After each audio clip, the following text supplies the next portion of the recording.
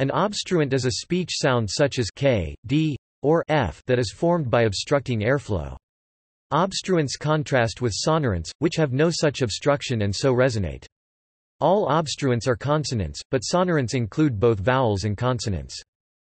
Obstruents are subdivided into plosives oral stops, such as p, t, k, b, d, with complete occlusion of the vocal tract, often followed by a release burst, fricatives, such as f, s, x, v, z, with limited closure, not stopping airflow but making it turbulent, and affricates, which begin with complete occlusion but then release into a fricative-like release, such as t, and d.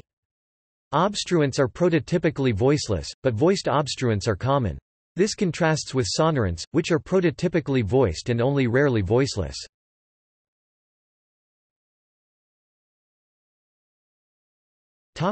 See also List of phonetics topics